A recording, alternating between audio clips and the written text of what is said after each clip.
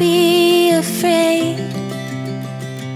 God is with you, favored one. You will bear a son.